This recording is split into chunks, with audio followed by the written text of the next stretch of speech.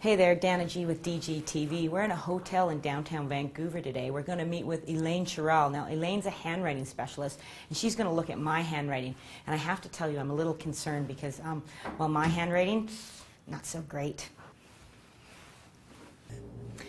Okay, we're here with Elaine. Now, Elaine is a BIC's handwriting expert. Now, Elaine, tell us what about handwriting. You're going around and actually talking about it handwriting is the big news, and handwriting is extremely popular for people to do. So popular, in fact, that 61% of Canadians, according to BIC's survey, say that they would far rather have a handwritten note of congratulations or job well done from the boss than any other form of communication.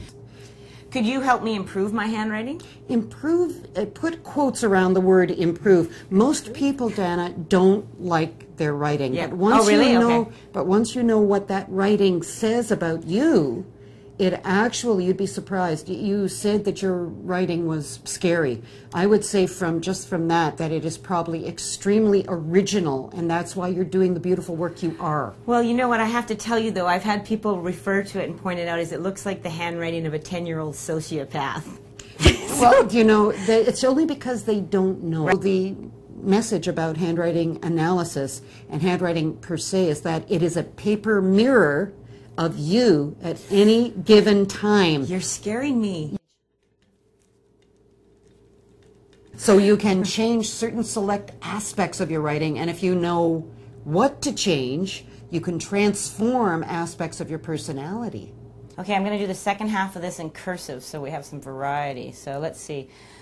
Please note below your favorite saying or your philosophy of life. Well, it's a family uh, newspaper, so we can't put down my favorite saying. So let's go with. Uh, all right, Elaine, there it is. I have to tell you, though, like I said, I'm really nervous about this. Your writing is beautiful. It is incredibly original. It is incredibly original. When I say it, it's because it's the deeper reason it is beautiful.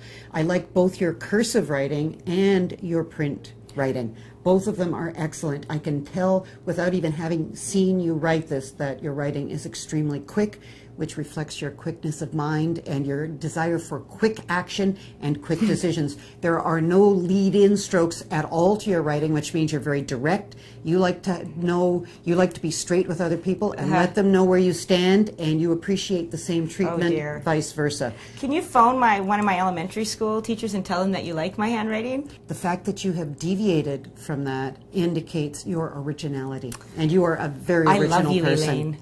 You're awesome. Okay, well let's look at this a little bit closer. If you have T-bars that angle down, you are very much like Donald Trump. I mean that as a compliment because it means you must take charge. You are brilliant at taking charge. The A's and O's are all open, which means you love to share your ideas and thoughts with others.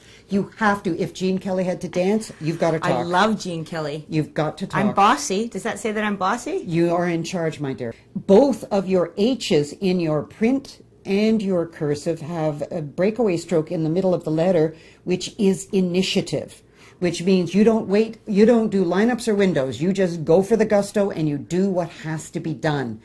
I want to hug you right now. Don't tell your husband, but you do love variety. What it means is that you, now you're making me uncomfortable. I went from wanting to hug you now. when I say you're the F word, I mean you are one heck of a lot of fun. You're fun to be with and you're fun to work with because you're always up to mischief. You never know what's going to happen. So, if you were hired by a corporation uh, to consult and they looked, you looked at my handwriting, would you uh, the tell them to hire me? The one thing I would say is do not bore this lovely lady because if she's bored, she will leave very quickly. You've got to keep her stimulated. And lots of money. Say lots of money. With lots of money, and she needs. She's she's a prosperous person. You need to. She needs to prosper in your company. This has been excellent. Thank you. Thank you. Mind I feel your, way better about myself leaving here. Mind your P's and Q's. you couldn't help yourself, could you? Got some BIC pen trivia I bet you don't know about. Go for it. Jerry Seinfeld always wrote with BIC pens. That was his thing. Always had to have a BIC pen. It shows that Jerry Seinfeld was a, is a very smart gentleman.